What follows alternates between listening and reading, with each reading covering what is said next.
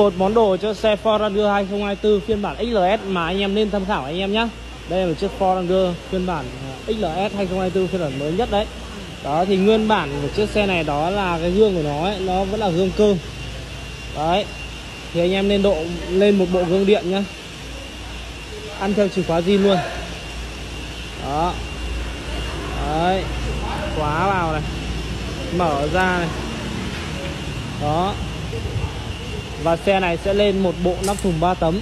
Cái nắp thùng này sẽ gập ra gập vào được. Đấy, anh em chở đồ rất là tiện. Tiếp theo đó là một cái ti cốp. À cái chuột cốp. Xóa cái bụng này này. Nguyên bản uh, của xe này thì uh, chưa có cái chuột cốp.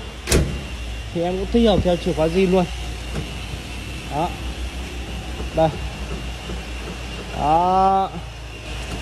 Những món đồ cơ bản mà anh em sử dụng xe Ford Ranger 2024 cần nên tham khảo và những uh, món trang bị này thì không có ảnh hưởng gì đến đăng kiểm anh em nhá.